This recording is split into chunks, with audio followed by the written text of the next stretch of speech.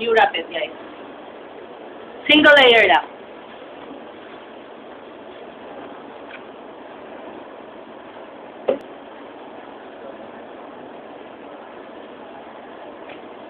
Okay?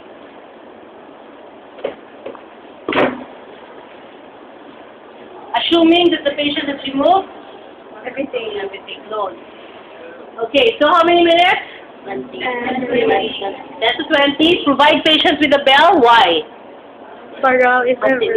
Because sometimes uh, a PT will be having treatments to several patients at the same time. So sometimes if you have to go somewhere or you want to document some things, write in your notes, use patients with a bell. So if it falls down, for example, nag-iyo siya, nagkatulbi, nag-iyo siya, nahulog, or, or tama nagitahog, he can, he has a way to call you. Okay. Clear? Okay, next. For your patient, how would you position your patient? Go. What's the best